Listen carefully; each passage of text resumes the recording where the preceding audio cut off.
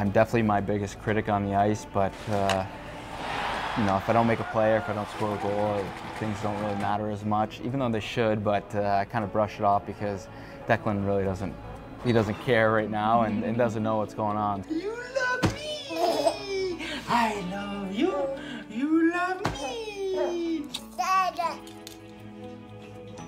Hey, Declan, it's Dada.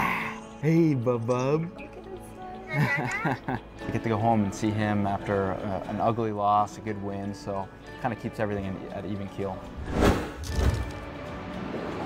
Well, you came from a great family too. You grew up uh, one of five boys in your household, so you certainly know what it means to have that strong family support around you.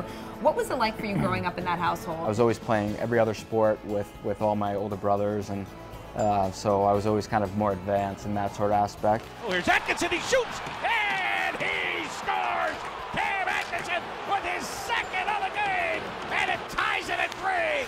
What's it like for you when you come back into this metropolitan area to play either the Devils, the Islanders, or the Rangers? It's great seeing family. Family's the most important thing in my life, and as it should be. And uh, to get a chance to see my brothers and see obviously what they're doing, what they're they've accomplished, and um, you know, see my mom and dad. When you were growing up in Connecticut, there was an outdoor rink that you played a lot of hockey on. Yeah, those were the best days. Uh, those that's where we learned to love the game of hockey, especially me. And my mom would have to force us to get off the ice, you know, whether it was snowing or it's uh, some of the best memories we've had, and uh, I definitely miss that place.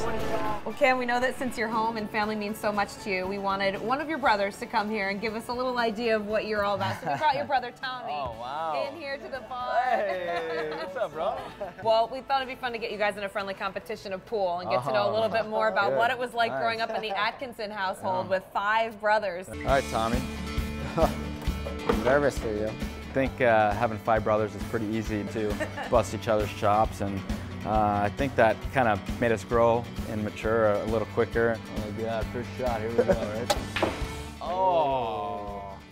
You know what was great was playing street hockey in our driveway. I would actually play goalie. I love playing goalie, just so I could rob them, be like, ah, let's go. Yeah. Everything we do, I think it's a, a friendly competition, right? But uh, anytime you can rub it in each other's Yeah. faces, it's always nice. All right, if I don't make this, then we have some serious problems.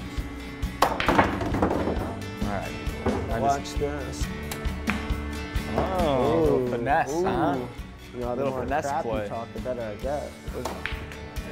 Oh, oh, but I don't know. Do I get a shoot after that again? absolutely or- not. Gotta finish you off once and for all. I got I the, I got the back, dude. I have, I need a I small. just hear excuses over there.